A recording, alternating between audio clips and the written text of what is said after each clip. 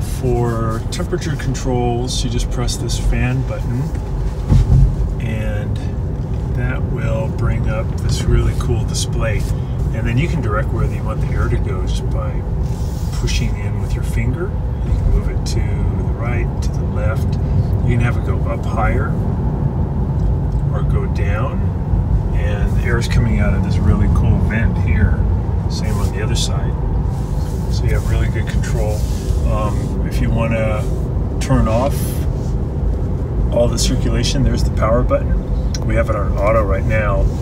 Um, you can also, so just press this little fan button, you can also do recirculate. That's this one right here.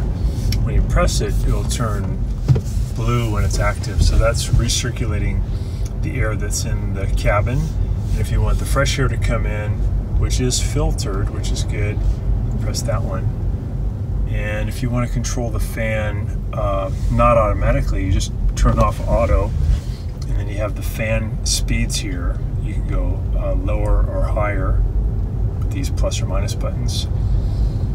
And then you can direct um, manually uh, airflow to be coming right at you or down by your feet just by pressing one of these two.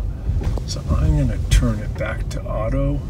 So I just want to press that one uh, press auto. There we go. It's automatic. And then again, the fun thing is this graphic where you can just move the airflow around. Thanks so much for watching our video and please subscribe when you get a chance and also hit the notification bell so we can send you lots more videos just like this one.